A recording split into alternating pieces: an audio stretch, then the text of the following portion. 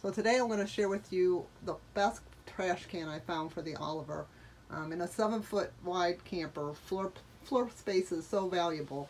So I searched and searched and wasn't sure where I wanted to put my trash can. I just know I didn't want it on the floor and I didn't want it under my table. So I found this trash can on Amazon and it is just worked out so well. Um, it just hooks right over the pantry and it comes with just, you know, the wire basket. But what I really like about it is that you can just slip it over the top of the pantry, but underneath it's all felt lined, so it's not going to harm your fiberglass at all. You can just put it, move it around, and it won't scratch the fiber fiberglass. Um, I just hung one of these towels over it just because, I don't know, kind of camouflage my trash can. but um, I just put four um, gallon bags in, in it and it holds quite a bit. You can also use it, you know, for, for anything that you want. Some people, um, I've seen put um, uh, wax paper, aluminum foil, and things of that nature. But I think it just works really well as a trash can. It keeps it off the floor, and it's just not in the way at all. And I really like it. It's it's worked out really well. Um, the other thing is, this up this paper towel and rack holder. It's by HASKO. Um, I have it taped right now because if anybody has towed their camper and not taped their paper towel, you know that you'll come into your camper and it's all over the place. So I learned that lesson the hard way. So I always put a piece of tape on the end when we're when we're towing.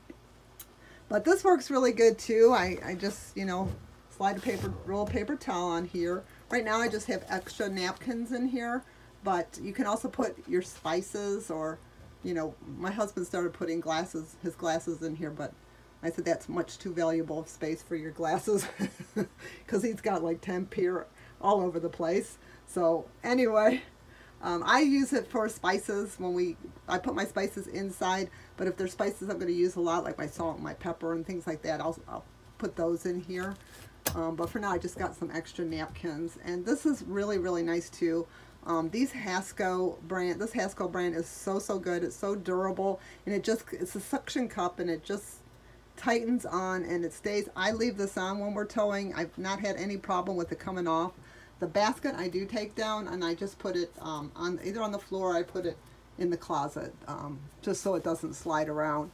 But I really like it. Um, the other thing um, I'll show you is um, we added these these HASKO, these are also HASKO suction cup hooks and I love them because they're so, so durable. They match the, the silver chrome finish and they're just so, so strong. I mean, you can, they hold a lot of weight, they stay up, um, we use it to, you know, hang our keys or um, the dog leash, and it's nice to have it right here by the door so you can hang your hat or whatever you want.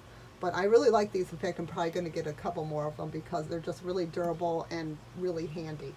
So that's um, that's my tip on where we put our trash can, the trash can we like, the paper towel holder and the rack, and the suction cups. Really, really great, great products.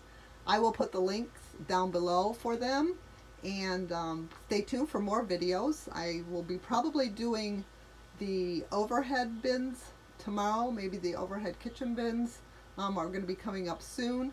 And I also have some tips on bathroom storage. So thank you for watching. Like and subscribe. And I'll see you in the next video. Have a great day.